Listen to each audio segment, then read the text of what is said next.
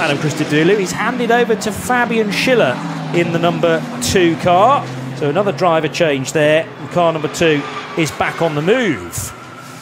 One car that's not on the move yet, I just has got back to it, is the number 522 BMW 330i, who's had a big moment there at Schwedenkreuz. That certainly would have grabbed the attention. And the, the evidence is the big clouds of dust left behind that machine that is in the. Oh, and loses it on the entrance to Schwedenkreuz, even in a lower class car. That is so fast through there. The five look like it's a five two two. Is it the five five two? It's twirling around five two two from SRS Team Sorg Rennsport.